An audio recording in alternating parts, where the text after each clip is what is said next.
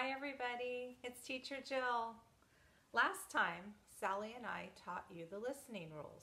They are eyes are watching, ears are listening, voice is quiet, and body's calm.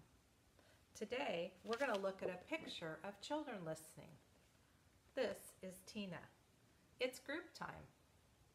Tina is telling her friends about her orange cat. His name is Marmalade. Tina likes to pet her orange cat. She says that Marmalade's whiskers tickle her. Look carefully at the children in the photo.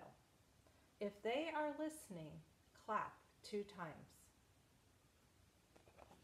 One, two. Can you find someone in the photo whose eyes are watching? It looks like these children have their eyes watching.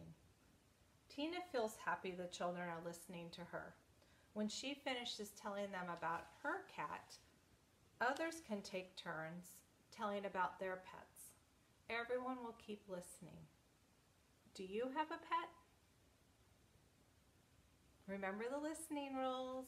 Bye, friends.